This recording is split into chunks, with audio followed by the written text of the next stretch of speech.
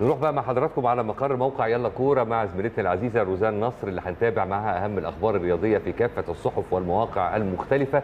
والجدير بالذكر إن هيكون ليها لقاء مع الأستاذ أيمن جيلبرتو اللي بنصبح عليه وهو مدير تحرير موقع يلا كورة. صباح الفل عليكي مريم و روزان. روزان روزان صباح الفل عليكي. و... وعايزين نسمع منك بقى أهم المانشيتات وإن كان في في مانشيت منهم يعني يثير الشجن الشجن. يعني مانشيت من الصنف الحزين جه على في يعني آه، على آه، آه. في صفحة الرياضة في جريدة الجمهورية في اليوم التاسع للأولمبياد الوداع المصري مستمر اتفضلي عايزين نسمع منك التفاصيل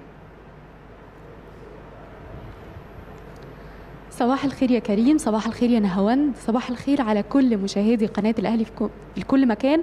يوم جديد فقرة صحفية جديدة. هنبدأ بأهم عناوين الأخبار النهاردة من موقع يلا كورة. الأولمبية المصرية أمامنا فرصة لتحقيق ميداليتين جديدتين. من جريدة الشروق فراعنة اليد يكتبون التاريخ في طوكيو. من جريدة الجمهورية في اليوم التاسع للأولمبياد الوداع المصري مستمر. وأخيرا من موقع الشرق الأوسط الصفقات الأمثل لفرق الدوري الإنجليزي هذا الصيف.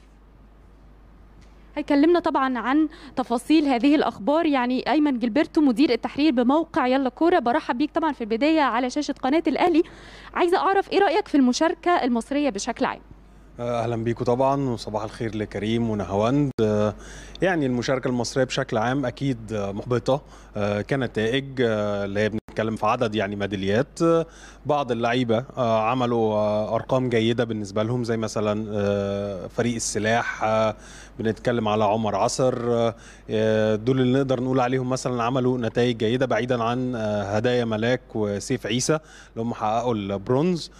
طبعا منتخب كرة اليد إحنا حاطين عليه كلنا آمال كبيرة إن هو إن شاء الله يقدروا إن هم يتجاوزوا عقبة ألمانيا وينافسوا على ميدالية تبقى ميدالية تاريخية للألعاب الجماعية والمصر عموما في تاريخ المشاركات في الأولمبياد.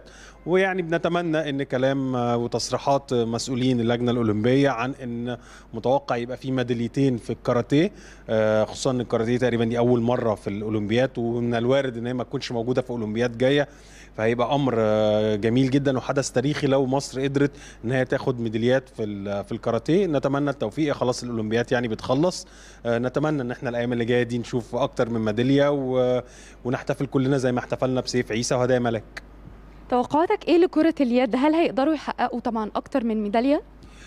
طبعا إحنا نتمنى إن هم أول حاجة يعني يعدوا عقبة ألمانيا. آه، طبعا ترتيبنا في المجموعة أمر آه، مميز جدا إن إحنا ناخد مركز تاني مجموعة مع الدنمارك والسويد آه، من المنتخبات يعني المصنفين ومنتخبات قوية جدا. آه، أداء آه، مبهر لل- للمنتخب كالمعتاد في الفترة الأخيرة. آه، منتخب اليد عنده فرصة تاريخية إن هو يتأهل لل semi final وهنا بقى هنقول إن هو بينافس على آه، ميدالية إن شاء الله بإذن الله. آه، نتمناها إن هم يصعدوا للنهائي عشان نبقى ضمننا الميدالية يعني. آه، يعني إحنا كلنا بنتوقع وحاطين عليهم أمل. نتمنى إن ربنا يكون معاهم وكرمهم والتوفيق يحالفهم وإن شاء الله يحققوا الإنجاز اللي مصر كلها بتحلم بيه يعني. عايزاك تكلمني بشكل عام عن البريمير ليج وتوقعاتك طبعا للموسم الجديد لفرق الدوري الإنجليزي. يعني الدوري الإنجليزي كما هو معتاد ال- الصفقات آه، لسه دلوقتي الكلام شغال على الصفقات. مانشستر سيتي هيدعم بمين؟ تشيلسي ليفربول كل الأندية بتحب تستعد للموسم القوي اللي جاي خصوصا الموسم الماضي. كان في آه، يعني زي ما شفنا كده آه، إجهاد وإصابات وإن في ضغط كبير في المباريات. وكمان بعد بطولة اليورو في ناس ابتدت فترات إعداد وفي ناس مريحة ولسه هتخش. فأكيد هيبقى موسم مثير جدا كما هو معتاد في البريمير ليج.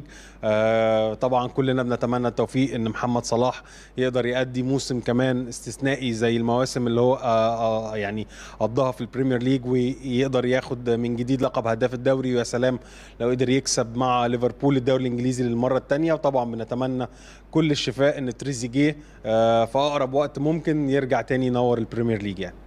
بشكرك جدا أيمن جilberto مدير التحرير هنا بموقع يلا كورة. مشاهدينا دي كانت أهم الأخبار هنا من موقع يلا كورة. بشكركم جدا وعودة ليكم الاستوديو مرة تانية. جزيل الشكر ليكي يا روزان. تحياتنا ليكي وضيفك العزيز.